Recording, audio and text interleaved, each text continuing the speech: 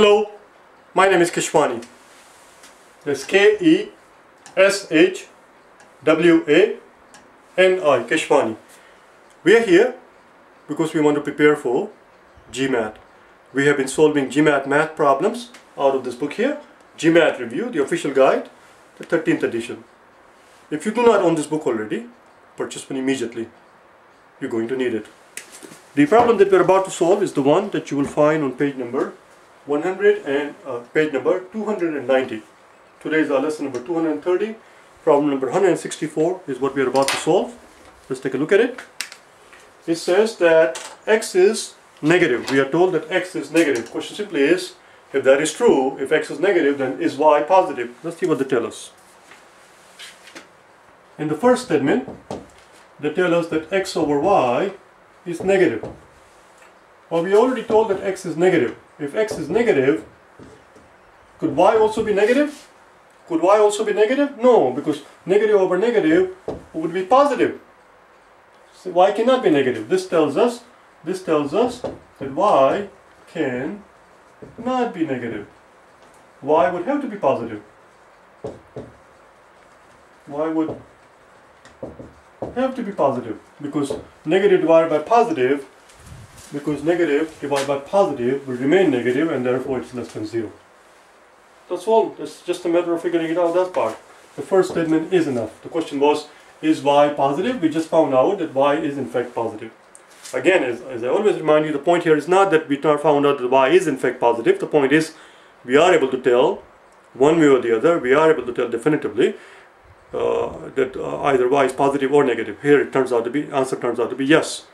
But even if the answer turned out to be no, it still would have been fine. We just have to be able to tell uh, either an affirmative answer or, or a negative answer with certainty.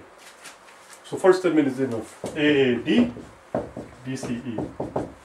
Because the first statement by itself enables us to give a definitive answer, we know now the answer cannot be B, C, or E. It would have to be either A or D. Let's look at the second statement. In the second statement, they tell us that y minus x is positive. Does that enable us to see if y is positive? Let's find out. Let's find out.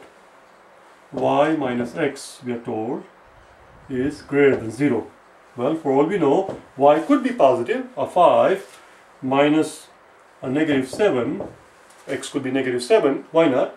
We told that x is negative, x could be negative 7, it could be any number, uh, like a negative number, and here any negative number for x would do it. A negative times negative becomes positive, and of course 12 is more than 0.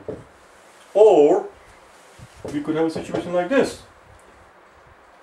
y we are, y we are told y minus y minus x we are told is more than 0, which is same as saying that y is more than x. y is more than x. Oh, actually I made it far too complicated. Let's start again. I made it far too complicated. We didn't have to do the two scenarios here. This is actually simpler than I thought we are told that y minus x is more than 0, which simply tells us that y is more than x. Which simply tells us y is more than x. In which case, y could be negative 8, which is more than negative 9, or y could be positive 8, which is more than negative 9. In one case, in one case y is negative, in another case y is positive. We can't really tell.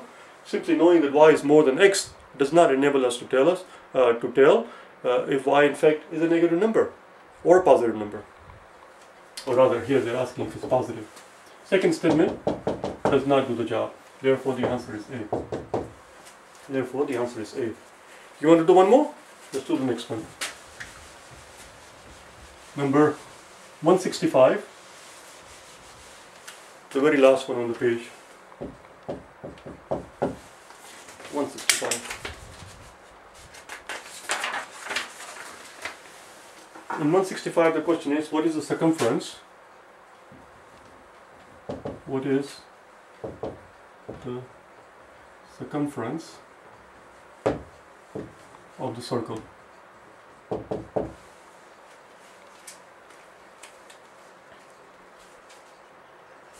In the first statement they tell us that the perimeter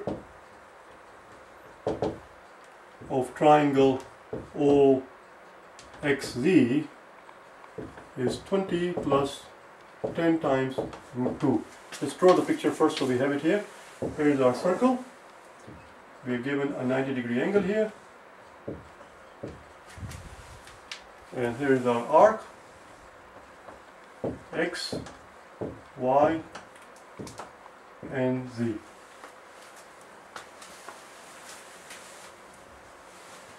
This point down here is Z. The perimeter of OXZ we are told is this.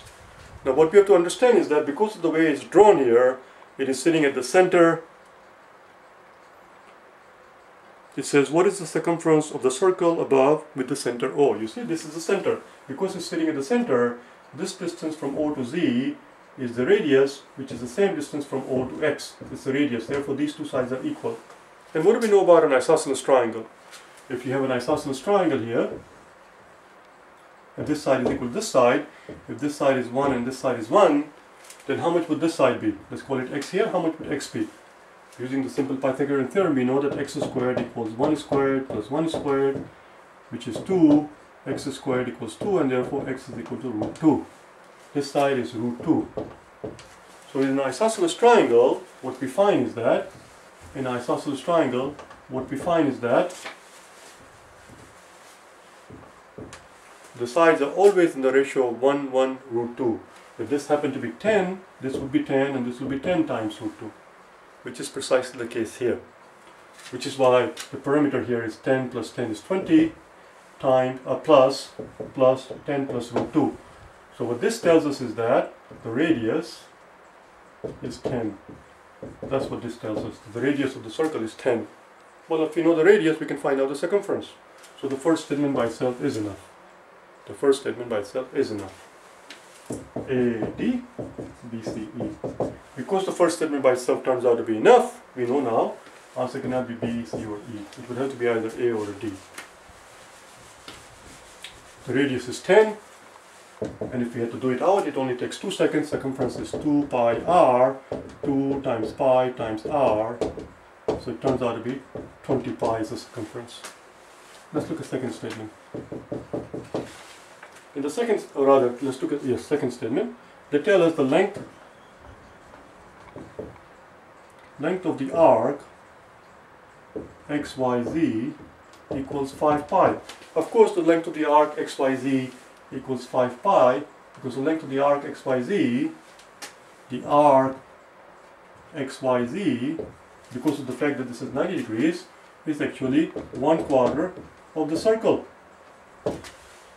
And if it's one quarter of the circle, we are told that one quarter of the circle is 5 pi, a quarter of the circle is 5 pi, therefore the, circle, the whole circle would have to be 5 pi times 4, same as before, 20 pi.